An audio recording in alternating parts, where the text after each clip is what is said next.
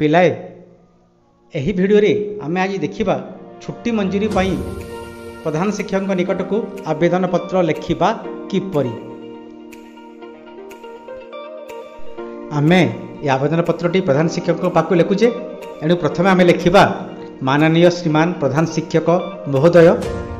माननीय श्रीमान प्रधान शिक्षक महोदय तापर आम स्कूल ना लिखा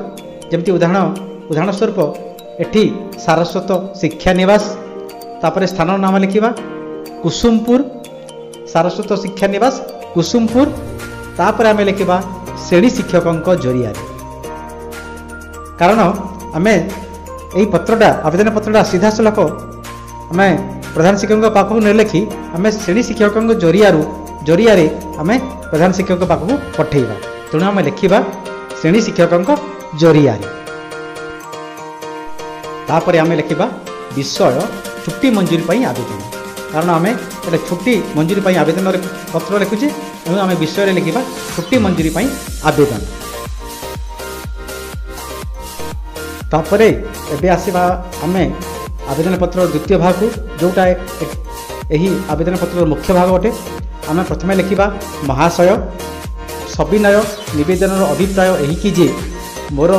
ବଡ଼ ଭାଇର ବାହାଘର ଥିବାରୁ তা ତାରିଖ ଏତିକିରୁ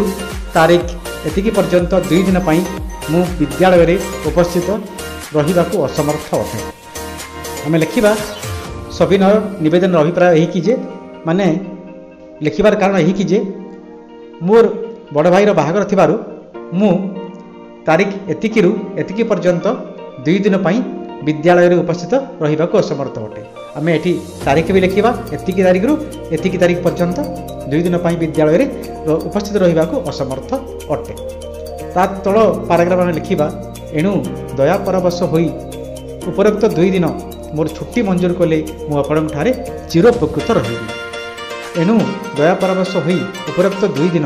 ମୋର ଛୁଟି ମଞ୍ଜୁର କଲେ ମୁଁ ଆପଣଙ୍କଠାରେ ଚିରୋପକୃତ ରହିବି ପ୍ରଥମେ ଆମେ ଲେଖିବା ବଡ଼ ଭାଇର ବାହାଘର କାରଣରୁ ମୁଁ ଦୁଇ ଦିନ ସ୍କୁଲରେ ଉପସ୍ଥିତ ରହିପାରୁନାହିଁ ଏଣୁ ମୋତେ ଦୟାକରି ଛୁଟି ମଞ୍ଜୁରି କରାଯାଉ ଏବଂ ଆପଣଙ୍କର ଏହି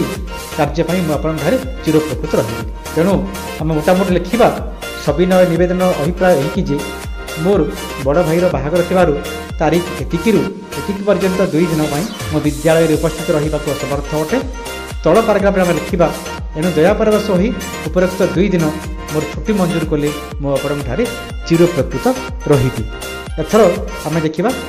ଏହି ଆବେଦନପତ୍ରର ଅନ୍ତିମ ଭାଗ आवेदन पत्र अंत्य भाग में आम लिखा डाण डाणपटे लिखा इति आपण को आज्ञातीन छात्र आम नाम लिखा जमी उदाहरण प्रकाश कुमार बहिदार श्रेणी लिखा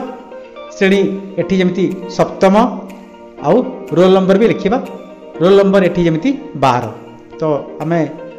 अंतिम पर्यायर डाणपटे लिखा इति आपण आज्ञाधीन छात्र नाम श्रेणी और रोल नंबर ତାପରେ ବାମପଟେ ଆମେ ଯେଉଁଦିନ ଏଇଟା ଆବେଦନପତ୍ର ଆମେ ଦେଉଛୁ ଆମେ ସେଦିନ ତାରିଖ ଲେଖିବା ତାରିଖ ଆମେ ଯେଉଁଦିନ ଆବେଦନପତ୍ର ବା ଯେଉଁଦିନ ଆବେଦନ କରୁଛୁ ଛୁଟି ପାଇଁ ଆମେ ସେଇ ଦିନର ତାରିଖ ଲେଖିବା ତ ଏହିପରି ଭାବରେ ଆମେ ଆବେଦନପତ୍ର ଲେଖିପାରିବା ଆବେଦନପତ୍ର ଆମେ ଦରକାର ବେଳେ ଆମେ ପରୀକ୍ଷା ସମୟରେ ଏଇଟାକୁ ଲେଖିପାରିବା ଯଦି ପରୀକ୍ଷାରେ ଆସିଥାଏ ପ୍ରଶ୍ନ कि आम विद्यालय प्रधान शिक्षक पाठ छुट्टी दरकार हेल्ला आवेदन पत्र व्यवहार आवेदन पत्र लिखार प्रणाली जब तुमको भल लगी थाए निश्चित रूप गोटे लाइक कर चेल को आज ही सब्सक्राइब सब्सक्राइब करना तेल एवं ही सब्सक्राइब दि एवं बेल आइकन को क्लिक कर रख जहाँफल आम समस्त भिडर नोटिफिकेसन तुम्हें खूब शीघ्र पाई एवं देखिपार आज ये धन्यवाद